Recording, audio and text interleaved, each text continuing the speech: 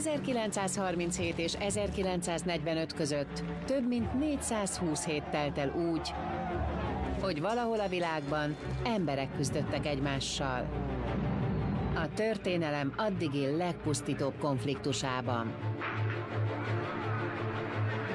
Bemutatjuk a második világháború 41 kritikus fontosságú hetében, hogyan éltek az emberek a csatatéren és a hátországokban. A háború hetei. Heti hírek a második világháború idején. Hatodik rész. A háború negyedik évének közepére a hadiszerencse egyre inkább a szövetségesek mellé állt. Egyesült erővel hurkot kötünk Hitler nyakára, és jól meghúzzuk. Az amerikaiak fölénye a földközi tenger vidékén és a csendes óceánon is megmutatkozott. A szövetségesek vezetői a stratégiákat latolgatták és azt, hogy hogyan folytassák a győzelem után, miközben Németország csak a Stalingrádnál szerzett sebeit nyalogathatta.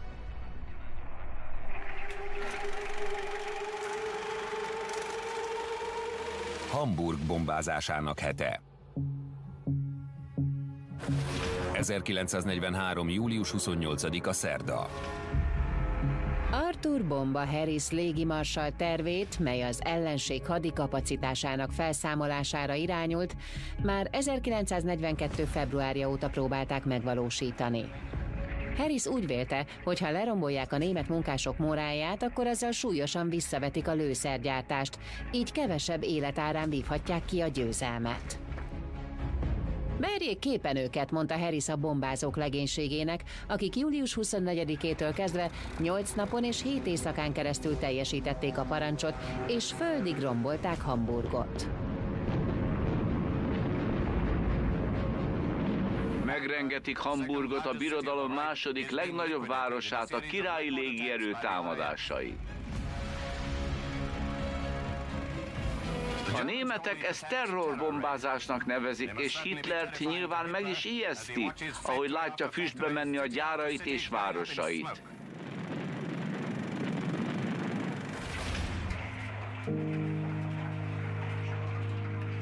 A brit és amerikai légierő több mint 2500 bevetést hajtott végre, két és félszer többet, mint Köln ellen 1942-ben, amikor ezer géppel támadták a várost. Hamburg azért volt más eset, mert ott tudatosan a város felégetését tervezték. A britek úgy gondolták, hogy azzal lehet a legnagyobb kárt tenni a városban, és azzal lehet a legjobban sokkolni a lakosságát, ha felgyújtják. A július 28-án ledobott gyújtó és romboló bombák tömege kontrollálhatatlan tűzvihart gerjesztett, amely elszívta az oxigént. A pincékben és óvóhelyeken menedéket kereső emberek megfulladtak. Nem volt ebben semmi véletlen. Szánt szándékkal idéztek elő ilyen körülményeket Hamburgban. Végig így tervezték. Két napba telt, mire az aszfalt kellőképpen lehűlt ahhoz, hogy a kereső csapatok elkezdhettek túlélők után kutatni. A bombázók kevés veszteséget szenvedtek, miközben 40 ezer hamburgi lakos meghalt. Ellen Taylor történész arról írt, hogy az apokalipszis tüzének középpontjában nem találtak túlélőt, egyetlen egyet sem. A hamburgi pusztítás után a náci vezetés kénytelen volt beismerni, hogy az események rosszul alakulnak. Albert Speer ipari miniszter azt mondta, hogy még hat ilyen támadás, és vége a háborúnak. Az, hogy ez mennyire tükrözte a valóságot, nem lehet tudni, de azt megmutatta, hogy ilyen körülmények között mi mindent lehet elérni egy bombázással. Sokan azt állítják, hogy bombázással nem lehet háborút nyerni. Én erre azt felelem, hogy próbáljuk meg, és majd kiderül. Churchill úgy vélte, hogy Hamburg 1943-as felégetése a vég kezdetét jelenti a németeknek. A pusztítás mértéke rendkívüli módon megrázta a német államot, és az ipari termelést is jelentős mértékben visszavetette.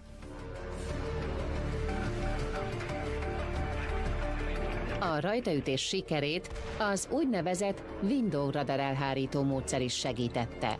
A pontos méretre vágott fémszálak tömeges ledobásával sikerült megtéveszteni a német radarokat, és a bombázók így zavartalanul támadhatták a célpontokat.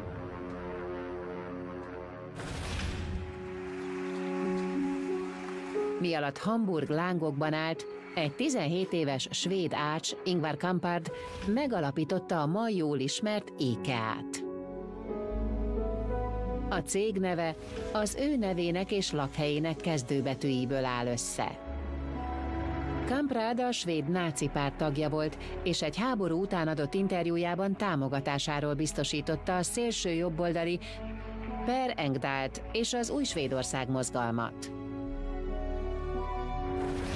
Ez a kérdés máig sok vitát gerjeszt. 1943. július 29-e csütörtök. A négy motoros nehézbombázókkal éjjel-nappal folytatott támadások július 29-én érték el tetőpontjukat. A világ leghatékonyabb bombázója, mely megnyeri nekünk a háborút. A fejlett navigációs és radar technológia lehetővé tette, hogy a királyi légierő súlyos károkat okozzon a német ipar központjaiban. A Mőne és Édergátakat elpusztító 617-es repülőrajt is ez segítette a célhoz érésben. Ugyanezen a napon a brit kormány minden 50 évnél fiatalabb nőt munkába állásra kötelezett. Fel kellett gyorsítani a bombázók és légvédelmi lőszerek gyártását, hogy fokozhassák a légiháború intenzitását. Minden elismerésünk ezeké a munkásoké, akik között sok a nő, amiért ilyen lelkesedéssel teljesítik a minisztérium parancsait. Eddig példátlan számban gyártják a repülőgépeket, hogy Nagy-Britannia kivívhassa magának a teljes légifölény. 1943. július 30-a péntek. Július 30-án a szovjetek tudományos áttörést értek el.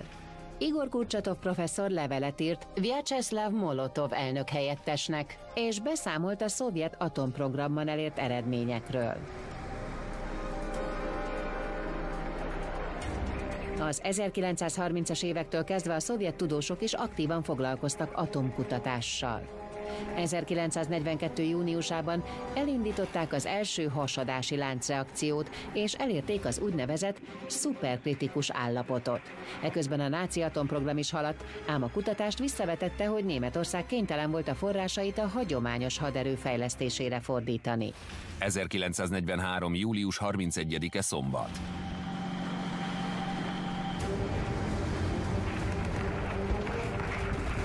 Július 31-én az Egyesült Államok 7. hadserege George Patton tábornok vezetésével ostrom alá vette az Axis erőket a szicíliai hegyi falunál, Trojnánál.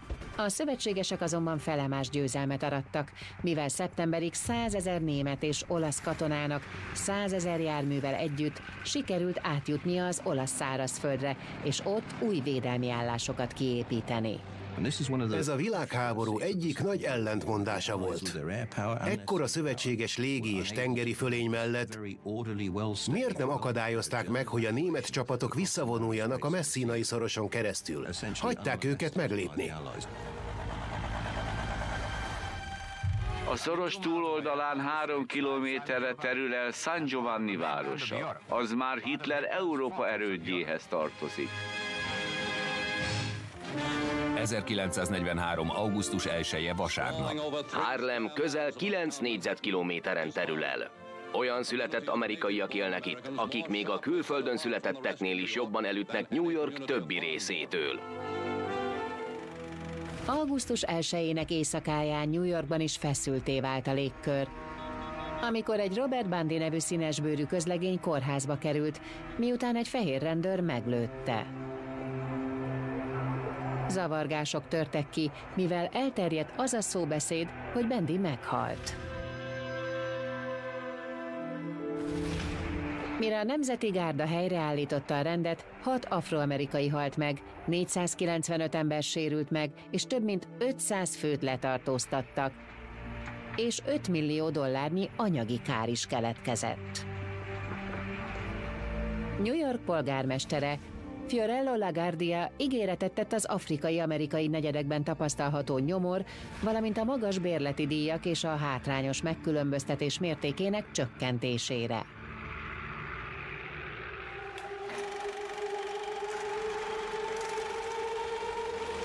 A Nagy Kelet-Ázsiai Konferencia hete 1943. november 5-e péntek 1943. november 5-én este egy azonosítatlan repülőgép öt bombát dobott le az apró, de semleges Vatikán városra, majd eltűnt a sötétben. A tengelyhatalmak az angol szászokat hibáztatták, Amerika tagadott, Nagy-Britannia pedig nem reagált. Egy jelentés szerint aznap egy motorhibával küzdő brit bombázó ledobta a bombáit Róma közelében. Ám a nyomozás kiderítette, hogy azok a várostól 80 kilométerre csapódtak be. A rejtély csak nem régiben oldódott meg, amikor kiderült, hogy Roberto Farinacci, olasz politikus, a fasiszta párt fanatikus, német párti tagja volt a felelős a támadásért. Farinacci így akarta elhallgattatni a szerinte tengelyenlenes propagandát sugárzó vatikáni rádióadásokat.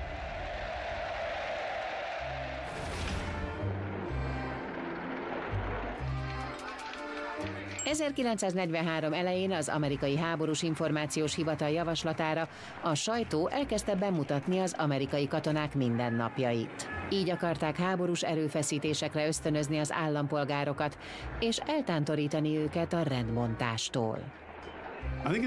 Az amerikai kormány élhetett volna a hatalmával, és megszabhatta volna, hogy mi jelenjen meg a filmekben, és mi ne. De jobban szeretett a háttérben maradni, és a filmkészítők amúgy is örömmel szállították a hazafias témájú alkotásokat.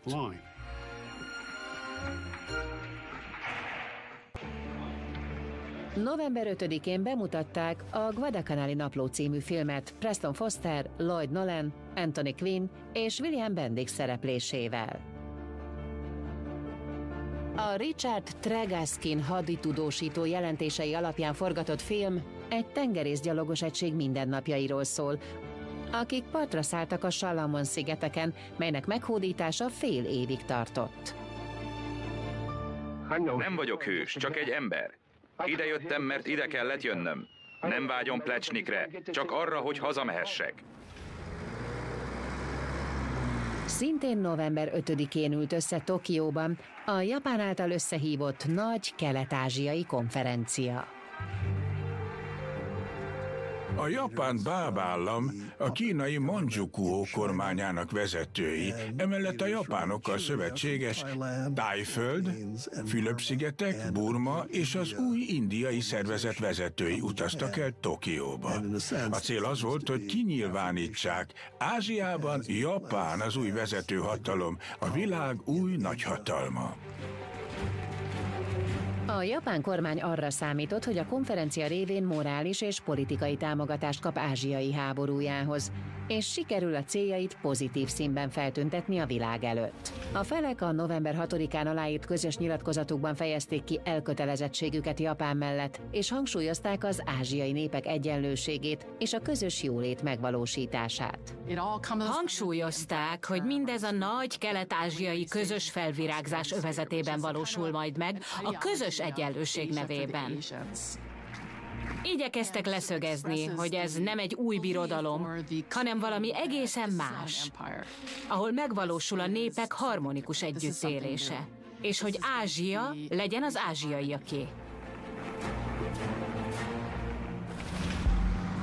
Azonban nem minden ment annyira harmonikusan. A japánok által adott autonómia csak addig tartott, ameddig a megszállók akarata és katonai szükségleteik teljesültek. Jól példázza ezt a Japán által szintén megszállott Indonézia esete, amely olajat, rist, kumit, ont és rengeteg munkaerőt biztosított Japánnak, ám képviselőit nem hívták meg a konferenciára. Ebből jól látszott, hogy Japán célja nem más, mint megszerezni az elfoglalt területek nyersanyag készletét. 1943. november 6-a szombat. 1943. novemberében a keleti fronton a Vörös Hadsereg arra törekedett, hogy megszilárdítsa a Stalingrádnál és Kursznál aratott sikereit. November 3-án a szovjetek egy ügyes megtévesztést követően rajta ütöttek a német negyedik páncélos hadseregen. Követően pedig 6-án hajnalban a Vörös Hadsereg áttörte a Dnyeper vonalat és elkezdte visszafoglalni Kijevet. Két és fél év háború után az oroszok egyik várost szabadítják fel a másik után a német megszállás alól, és közelednek a régi Lengyelország határához.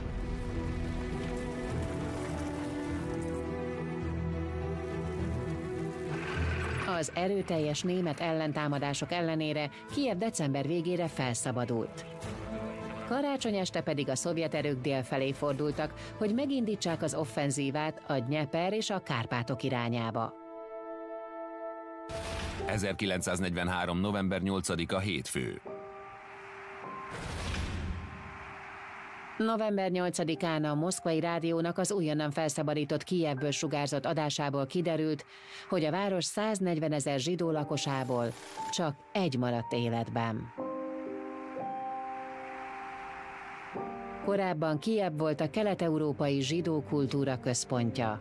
Ám az intézmények felszámolása, majd a zsidók, romák, szlávok és kommunisták tömeges legyilkolása, köztük az 1941-es Babiari mészárlás alig hagyott túlélőket.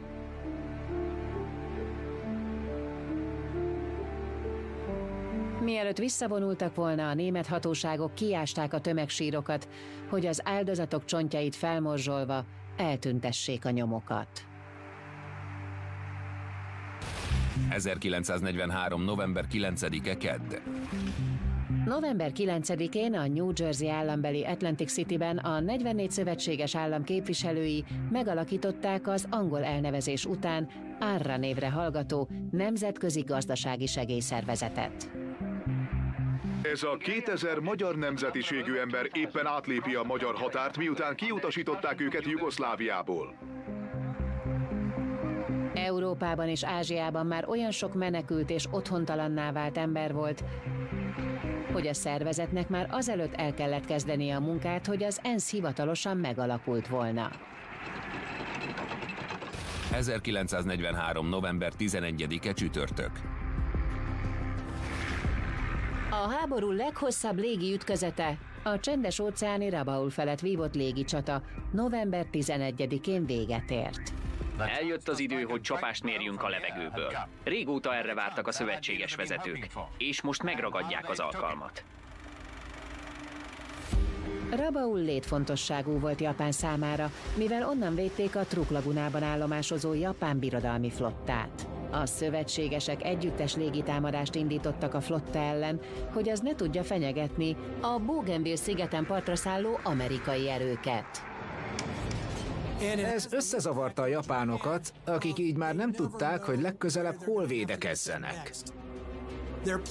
Addig azt tervezték, hogy az úgynevezett belső vonalak mentén mozgatják a flottájukat és a légierejüket, így bárhol és bármikor támadhattak. A gond azonban az volt, hogy a hatalmas távolságok miatt a japánok ezután már csak reagálni tudtak. Elvesztették a lehetőségét annak, hogy ők szabják meg az offenzívák ütemét.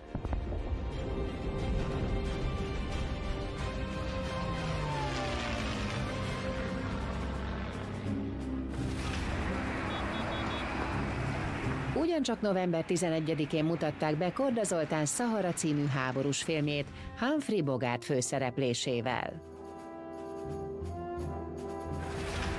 Az információs hivatal úgy módosította a forgatókönyvet, hogy egy változatos összetételű amerikai egység harcoljon az ellenséggel.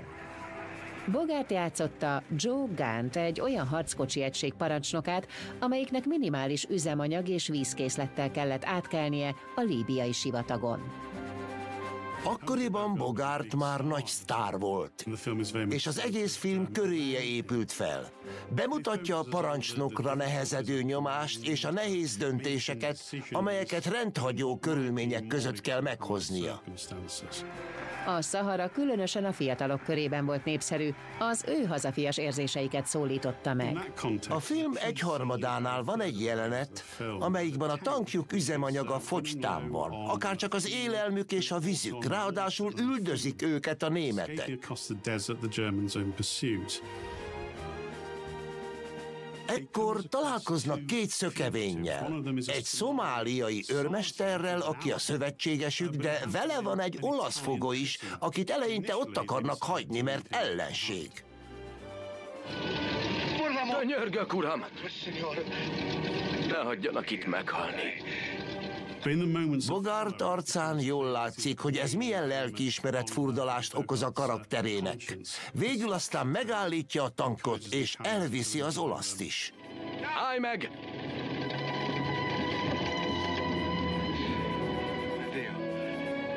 Gunner mester figurája az amerikai káboly nemes lelkűségét és morális felsőbbrendűségét képviseli, ahogy a kíméletlen sivatagon vágtat át lánctalpas paripáján.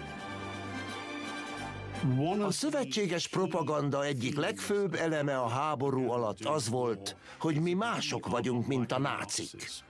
Lehet, hogy ugyanolyan keményen és elszántan harcolunk a győzelemért, mint azok, de ettől még nem leszünk fasiszták.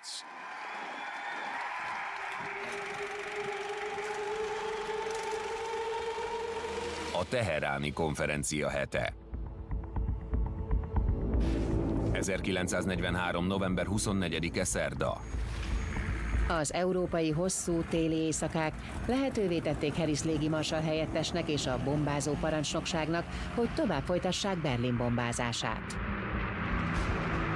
1943. novembere és 44. márciusa között 16 nagy támadást hajtottak végre a német főváros ellen. Harris 1943 végére nagy eredményeket akart felmutatni, amelyek elősegítik a háború lezárását. Tudta, hogy 1944 nyarán sor kerül a partra szállásra, és úgy érezte, ez az utolsó alkalom, hogy a bombázók jelentős hatást gyakoroljanak az események alakulására.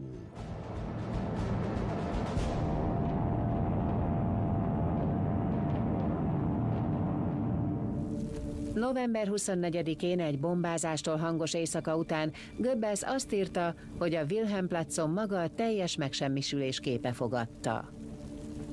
Mindenütt tűz lángolt. És hogy az ellenséges sajtó pimassága határtalan, mivel diadalittas hangnemben ír a támadásokról, és az meg tudja öríteni az embert. 50 ezer tonna bomba az ára a németek Hitlerbe vetett hitének. A város együtt pusztul a rezsimmel. A széles utcák és a parkok miatt a város nem éget úgy le, mint Hamburg és Dresda. Másfél millió ember hajléktalanná vált ugyan, de a bombázás csak 6000 berlini életét követelte. A németek bámulatos szívosságról tettek tanúbizonyságot, és tovább küzdöttek az országuk győzelméért.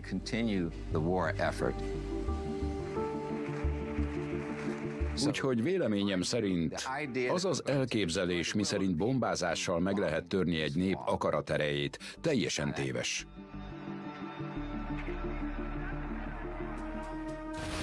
...1943. november 25-e csütörtök. November 25-én éjjel egy katonákkal és felszereléssel megrakott japán konvoj útban volt visszafelé a Bougainville bukából. A modern radar technológia révén a 7. flotta 23. romboló százada megtámadta a konvojt. Három japán hajót elsüllyesztett és 630 matrózzal végzett a Cape St. George-nál vívott csatában. Az amerikai hajóraj ellenséges területen találta magát, de sikerült észrevétlenül visszavonulnia. 1943. november 26-a péntek. Másnap az észak-afrikai Varáni öbölben a Rona és másik négy hajó katonákkal megrakva elindult az egyiptomi Alexandria felé. A Róna feladata az volt, hogy 2000 amerikai katonát szállítson Indiába. Ám ekkor Egy 177 gépből álló bombázóraj rádióirányítású rakétákkal megtámadta a konvojt.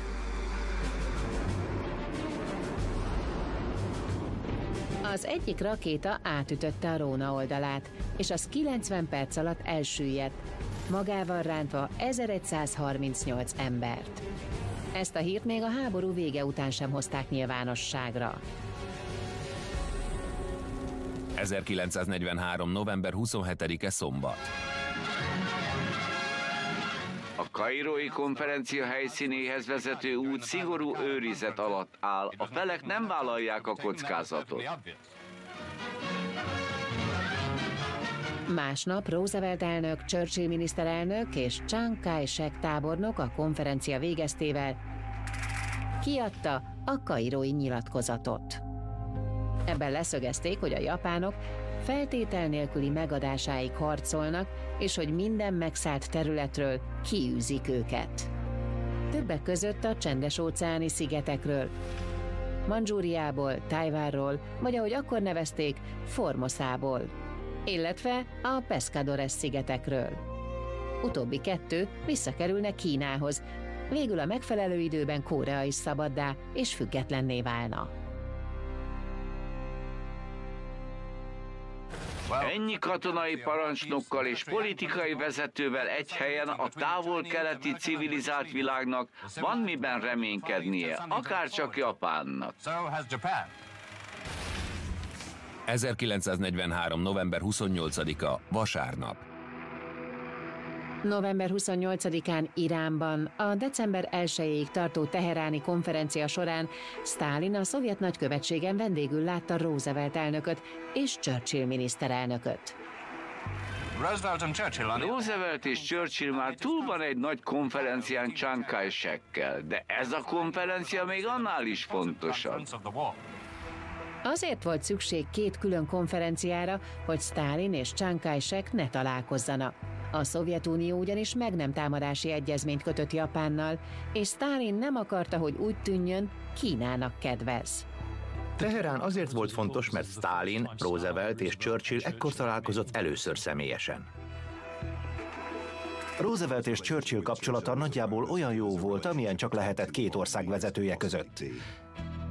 Bár a brit birodalom jövőjét illetően nem értettek egyet, azért jól tudtak együttműködni. Stalinnal már egész más volt a helyzet. Roosevelt csak kétszer találkozott vele. Kevesebbet leveleztek, és persze nem beszélték egymás nyelvét. A tisztelet megvolt, de hogy mennyire bíztak meg egymásban, az kérdéses. Reménnyel és elszántsággal érkeztünk ide, de barátokként egy szellemben és egy céllal távozunk innen.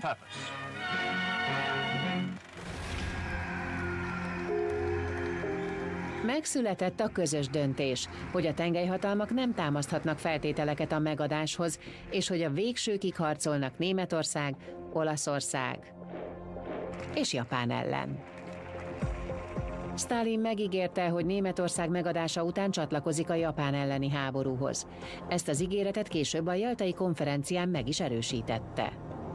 Churchill pedig lemondott a földközi tengeri hadműveletről, és elfogadta az amerikaiak stratégiáját a második fronttal kapcsolatban. Teheránban a britek beleegyeztek a második front nyugat-európai megnyitásába, és ezt Stalin nagy elégedettséggel nyugtázta. Tudták, hogy egy második front enyhítene a vörös hadseregre nehezedő nyomáson, és lehetővé tenné, hogy a szovjet erők Berlin ellen induljanak. Berlin és Kelet-Európa megszállásáról és felosztásáról ekkor nem született döntés. Arról viszont megállapodtak, hogy garantálják Irán függetlenségét az új sah Reza Pahlavi alatt.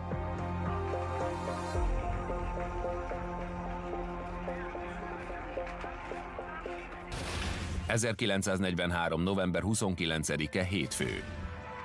A teheráni konferencia idején Jugoszláviában a második jugoszláv antifasiszta népfelszabadító tanács árnyék kormányt alakított. A partizánok felállítottak egy 650 ezer fős haderőt, a leghatékonyabb ellenállási mozgalmat a tengelyhatalmak ellen. Az operatőrök eljutottak a boszniai hegyek mélyére, azokhoz a partizánokhoz, akik 19 jól felszerelt náci hadosztályt győztek le. A tanács elutasította második Péter király monarchiáját, és kijelentette, hogy a háború után Jugoszlávia egy több etnikumú, hat nemzetség által alkotott kommunista államszövetséggé fog válni. A teheráni konferencia alkalmazkodott a Balkán reális helyzetéhez, amikor a szövetségesek megállapodtak, hogy a versengő csoportok közül a Josip Broz Tito vezette kommunista partizánokat fogják támogatni.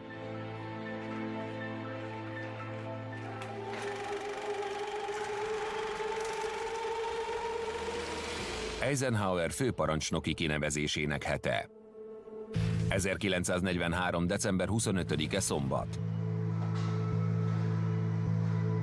Rövid szünet után a királyi légierő december 25-én újraindította Berlin éjszakai bombázását. Miközben zajlottak a partraszállás előkészületei, a franciaországi invázió legfőbb parancsnoka is megkapta a kinevezését. A nyilvánvaló jelölt George Marshall tábornok volt, de Roosevelt nem akart megválni a legközelebbi katonai tanácsadójától. Eisenhower tábornok fogja vezetni az Angliában gyülekező egyesített brit és amerikai expedíciós haderőt. Ő lesz a második front legfőbb parancsnoka. Az Ike becenévre hallgató Dwight Eisenhower tábornok nem rendelkezett akkora tapasztalattal, mint a többi amerikai tábornok, de MacArthur és Marshall alatt már bizonyította stratégiai vezetői készségeit, bírta Churchill bizalmát és együtt tudott működni a britekkel, így logikus választásnak tűnt. Ismerve a történelmet, nem nagyon lehet vitatni a döntést. Eisenhowernek figyelembe kellett vennie a brit és az amerikai nép, valamint Roosevelt, Churchill és az alatta szolgáló parancsnokok akaratát is. Eisenhower megbirkózott ezzel, és úgy vezényelte le a maradék két évet, ahogy azt kellett.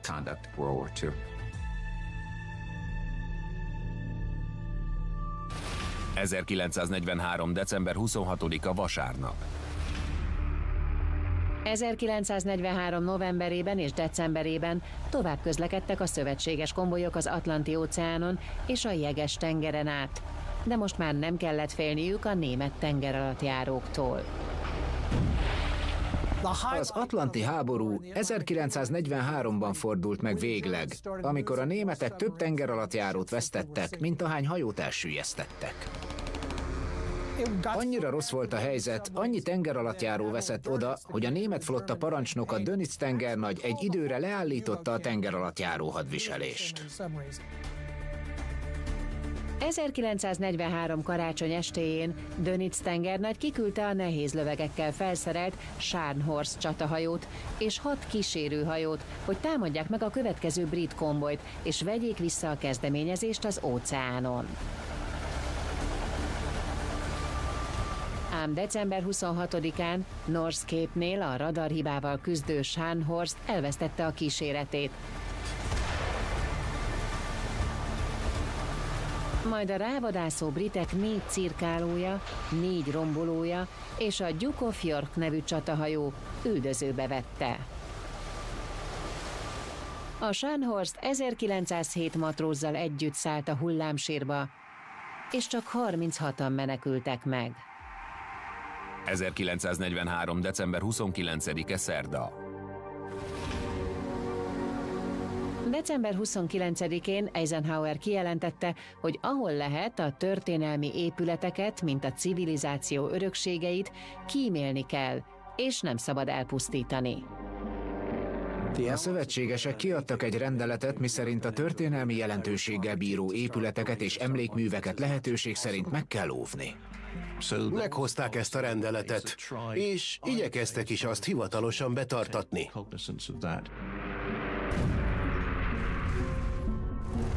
Tekintettel arra, hogy addig Európa mekkora része vált a pusztulás martalékává, a rendelet kisé megkésett. A partraszállás utáni előrenyomulás során azonban már igyekeztek ezt a szempontot figyelembe venni. 1943. december 30-a csütörtök. A keleti fronton a Nikolaj Vatutin vezette Zsitomir Berdicsev offenzíva már egy hete nyomult előre.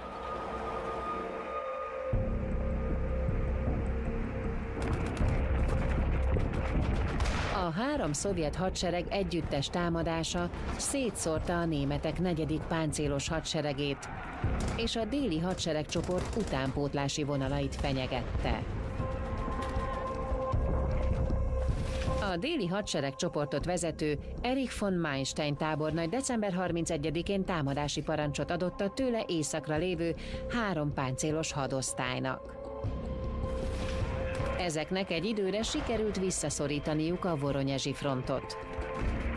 Ám a vörös hadsereg ellentámadást indított, és az offenzíva 80-200 kilométerrel vetette vissza a német frontot.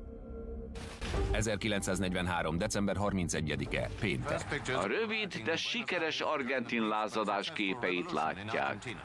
Az argentin tisztikar által szervezett államcsíny során 1943. június 4-én 8000 katonatiszt jelent meg Buenos Airesben, és átvette a hatalmat. Ez egy katonai pucs Castillo elnök kormánya ellen. Az ő regnálása alatt az ország a náci befolyás belegágya lett. Pedro Ramirez tábornok maga mögött tudhatta a földbirtokosok és vállalatvezetők támogatását, akik ellenőrizni akarták az erős szakszervezeteket. December 31-én Ramirez elnök feloszlatta a politikai pártokat, és visszaállította a kötelező római katolikus oktatást az állami iskolákban. A hangadó kommunistákat bebörtönözték, Cenzúrázták a könyveket és a sajtót, a szakszervezeteknek pedig nacionalista irányvonalat kellett követniük.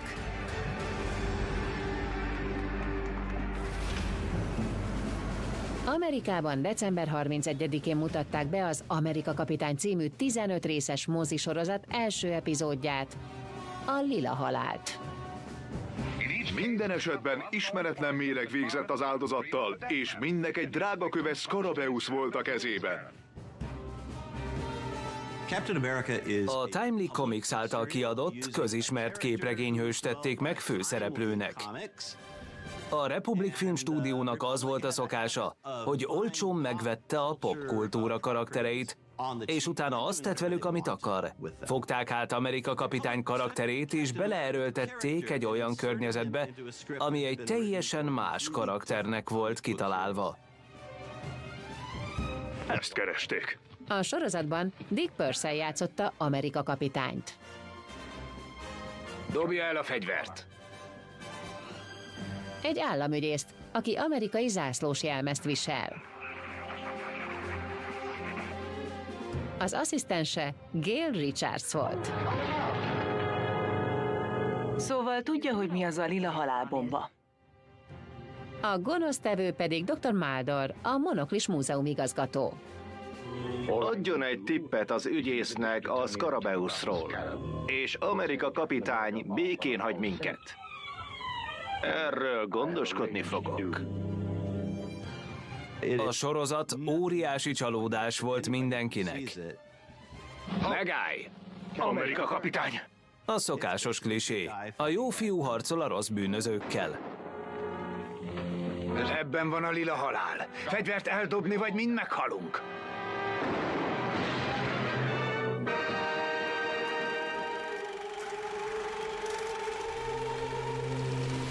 Megtorló hadművelet hete.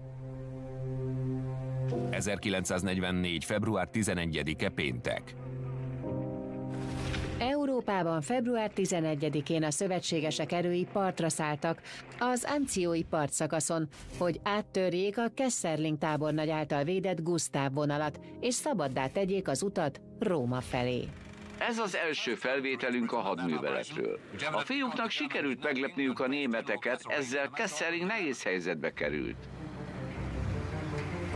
Az anciói partraszállás gondolata nem volt rossz, csak rosszul hajtották végre. Túlságosan kicsi haderőt tettek partra ahhoz, hogy le tudják győzni a németeket. Mindössze két hadosztályt, pedig annál sokkal több kellett volna. Csak a hadihajók fedőtüze miatt tudtak partra szállni.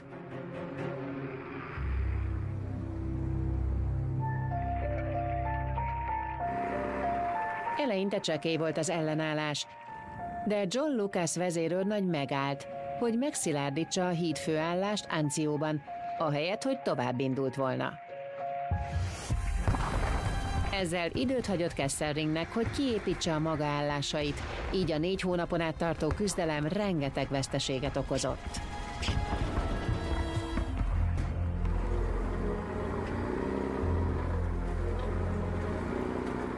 A szövetséges erők megtorpanása Anciónál elkeseredett helyi küzdelmekhez, és ahhoz vezetett, hogy páncélos és légifölényük is felmorzsolódott. Az anciói partraszállás kudarca azzal járt, hogy a Monte Cassinónál harcoló alakulatok kénytelenek voltak hosszú és véres küzdelmet lefolytatni, és végül négy kegyetlen csatára is sor került a hegy környékén. Az első világháborút idéző felörlő harc vette kezdetét. Az idő is szörnyű volt. A németek beásták magukat a magaslaton, és onnan kellett kiverni őket. 1944. február 15-e Kedd. Február 15-én megkezdődött a második Monte Cassinoi csata, melyben 142 B-17-es nehéz bombázó, 47 B-25-ös és 40 B-26-os közepes bombázó vett részt.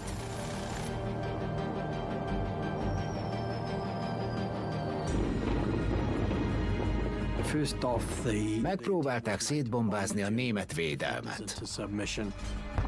De sajnos a terep erőteljesen a védőknek kedvezett.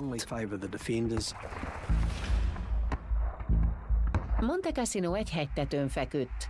Cassino városa mellett egy 6. századi kolostor állt. A hegyet a Liri és a Rapido folyók völgyei vették körül. A Liri völgy védelmét a németek annyira megerősítették, hogy abba a szövetségesek foga biztosan beletörjön. A németek okosan kihasználták a terep adottságait, és egy szinte áthatolhatatlan védelmi vonalat hoztak létre. Az egész Monte Cassino hegyet, nem magát a kolostort építették ki védelmi állásnak. A háromnapos támadás kudarca után Alexander tábornok meghozta a végső döntést. A kolostort taktikai bombázókkal a földdel egyenlővé kell tenni.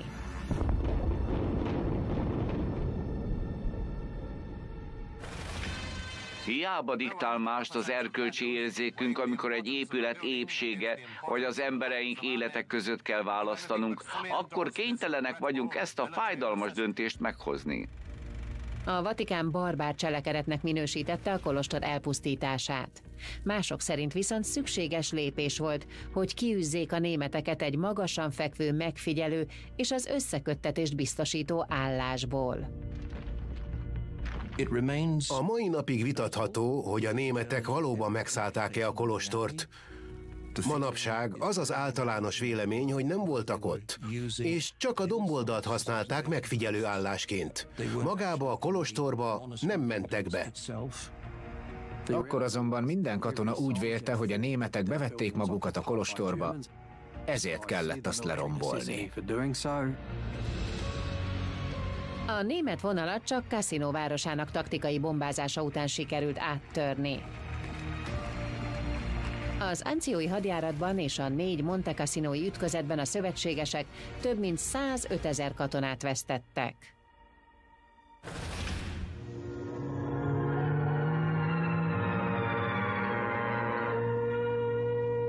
Február 15-én éjjel debütált az Éjszaka Rémei című félórás rádióműsor, Boris Karloff első önálló műsora. Tartsanak velem, hogy együtt fedezzük fel a titokzatos sötétség rejtelmeit. Karloff azt mondta, hogy nincs nagyobb misztérium, mint maga az emberi elme rejtéje. A horror sorozat első epizódjában egy özvegy gyilkosságokat követel, miután hallotta elhunyt férje hangját. Megtudod, mit érzett Steven az öngyilkossága előtt? Megtudod, milyen a sötétben járni? Nem érdekel. De hát...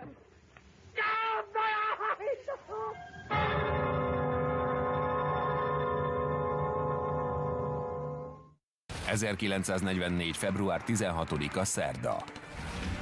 Február 16-án Stalin levelet írt Rooseveltnek. Ebben arra kérte az elnököt, hogy vesse be befolyását a számüzetésben lévő lengyel kormánynál, mivel annak programja szovjet ellenes kitételeket tartalmazott.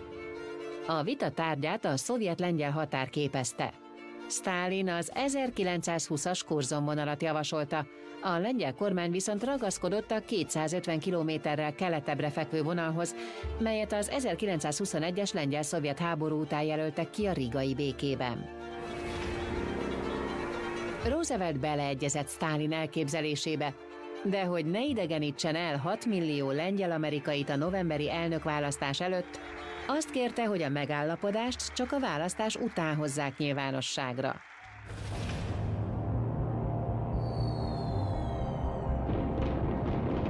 Miután 1944 márciusáig már több mint 500 bombázót vesztett, és támogatnia kellett az Overlord hadműveletet, Harris légimarsal lefújta a további Berlin elleni bombázásokat. A bombázás hatására nem alakult ki komoly ellenállás Németországban. A német katonák sem dezertáltak tömegével, és a német lőszergyárak is tovább dolgoztak. A légierő stratégiájának hatékonyságáról a mai napig folynak viták a történészek között. Sikerült vele aláásni a német morált? Nem. A német állam egészen 1945 tavaszáig működött, amire a szövetségesek egyáltalán nem számítottak. Viszont voltak másodlagos hatásai. Például súlyosan megosztotta és felemésztette a német erőforrásokat, márpedig ezt a német vezetés nem engedhette meg magának. A szövetségeseknek rengeteg erőforrások volt. A másik nagy hatása az volt, hogy megtizedelte a német légierőt.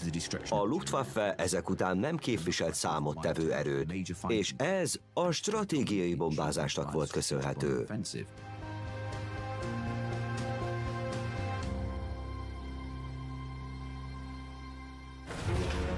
A németek sorsát az ember és a hadianyagveszteség pecsételte meg, amikor a szovjet offenzíva 1944 tavaszán újraindult, és akkor is, amikor június 6-án a D-napon megnyílt a második front. Indul az invázió. Egy romboló érkezik, hogy elvigyen egy katonai szakértőt, aki fontos információkkal rendelkezik. A férfi a két sebesen haladó hajó között függeszkedik. Ez nem lehetett könnyű manőver. Biztosan örült, amikor átért. Íme egy német áruló, Fritz a kutya, aki akkor csatlakozott a katonai rendőrségünkhöz, amikor átkeltek a sivatagon. Igazán helyes kis áruló, nem igaz? A magyar változatot a Spektrum Televízió megbízásából a Direct Dub Studios készítette, produkciós vezető Witzenleiter Kitti.